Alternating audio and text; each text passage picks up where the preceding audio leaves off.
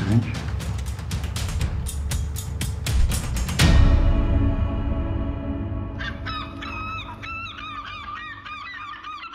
Mēs bijām ģimene.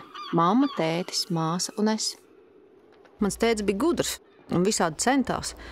Mācījās un strādāja, bet mūsu ģimenē naudas kā nebija, tā nebija.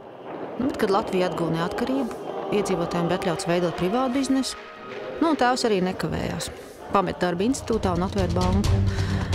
Nu, un divu gadu laikā viņš jau bija miljonārs. Viņam bija mājas, mašīnas, miesas sargi, kuteris un arī jauna sieva. Un teica, paspēja norganizēt man vērienīgas kāzas, un tad kādu vakaru atnāca un paziņoja, ka viņam vajadzētu uz laiciņu aizbraukt. Viņš pazuda. Un līdz ar viņu arī visa noguldītā nauda.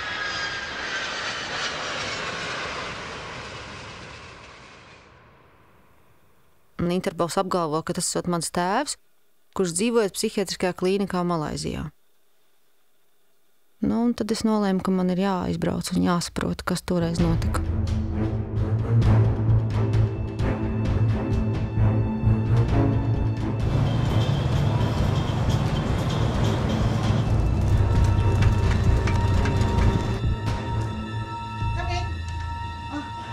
Hello.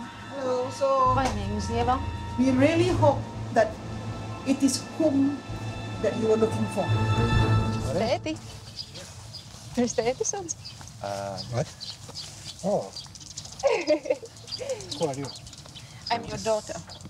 You remember me? once it's out. Я твоя дочь. Ты не помнишь? Okay, never mind. Uh, never, never see this what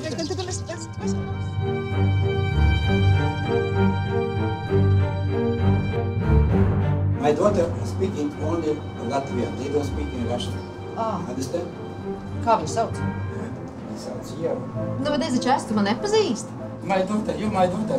I never see your life.